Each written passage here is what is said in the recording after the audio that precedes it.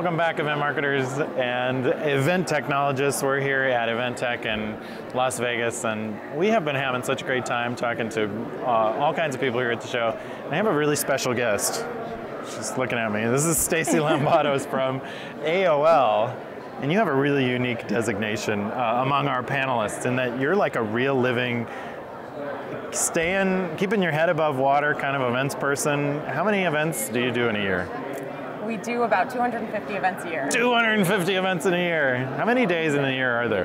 365. That's a lot of events to do in a year. that means we work some nights, we work some weekends. Some nights, some weekends. Oh yeah, we probably work a lot. We work a lot. Yeah, it's um, it's it's kind of. I mean, this is like uh, an area when you're trying to do that many events, you got to get some things right in terms Yeah. of figuring out process, best known methods. What what are your events like? First, just tell us what kinds of things are you doing out there? Yeah, so um, it runs the gamut. So AOL owns a bunch of different content brands. We own the Huffington Post, we own TechCrunch, we own Engadget. So we support all different brands under the AOL umbrella. Yeah. Uh, we support employee events. So that's our sales conference for 600 people. It is shareholders meetings. It's our board of directors meetings. Uh, and then also B2B events, which is probably our biggest biggest bucket. Uh, we go to CES in Vegas every year, uh, build stages on the show floor for Engadget and TechCrunch, do client hospitality, show floor tours, dinners, private events at night. Uh, we put on our digital content New Front in April in New York every year, which is probably our biggest production that we do. Uh, we go to the Cannes Lions Festival in France in June Yeah. and round out the year with Adweek in September and our sales conference towards December, January. So so how do you keep it together? How do how, do, how do you stay as put together as you look to be right now? Are It's you all a are- yeah, it's all a facade. are you really just about to like run off and cry? Um, I think you can't take yourself too seriously. You Yeah. can't take what you're doing too seriously. Mm-hmm. Um, you have to have fun. You have to have a positive attitude. But then you've got the client or somebody Yeah. that is taking it seriously, Yeah. right? And and and I know it, I know you don't mean to imply that we're not taking our job seriously, but No. what happens when someone does explode at you? You know, what do you, You know, how do you handle it? I think the secret sauce is remaining calm and Yeah. Mm-hmm. happy and positive, um, especially under stressful situations. Nothing good is going to come out of yelling and reacting and, Mm-hmm. and getting nervous or, or showing your stress and letting even your clients know that you're sweating on the inside. And, Mm-hmm. um, and just staying calm, and, and there is a solution. It will work out. Um, I, yeah. I, I recall easier said than done, but it's Yeah. a skill and it takes some practice. It does. and- So staying calm is really important. I recall uh, uh, uh, I was at the Sundance Film Festival one year, and um, a film director and an executive got put in a car together. And now you would think, oh, no big deal. They're both going to our event. right. Big deal, right? The press handlers completely imploded because you're not allowed to put the director and the executive in the car together. We just didn't know this, right? Because we don't work with Hollywood. But it was it was a very interesting experience, like to have, you know, the kinds of things that you can't really foresee when you're in the events business that sometimes just get get at you.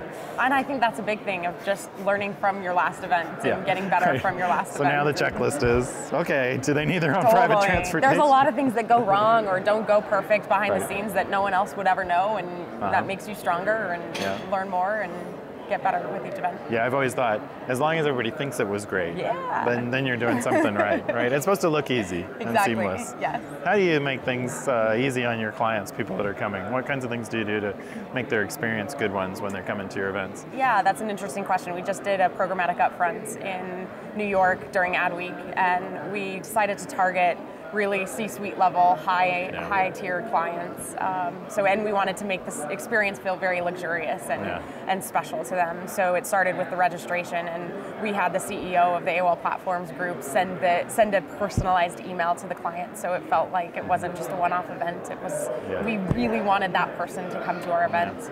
Um, we provided car service on the registration page. We asked them if they wanted to be picked up. Mm-hmm. Um, we had a champagne bar and a whiskey tasting and a, fabulous, wonderful cheese spread. And Yeah. um, for catering, in the general session, we did couches and lounge furniture rather than ballroom chairs.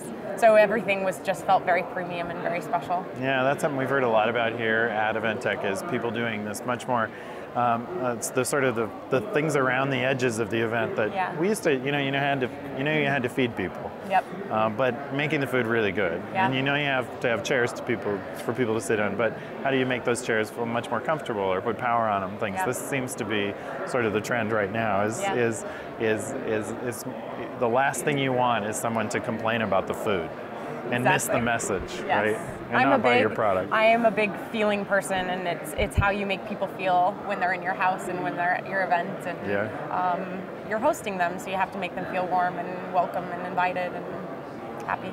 Yeah. So what what have you learned over the last say year of doing all these events that you might pass on to somebody that maybe that's looking at a year of lots of events? Where is there some guidance you could give them to say, uh, make sure you don't forget this?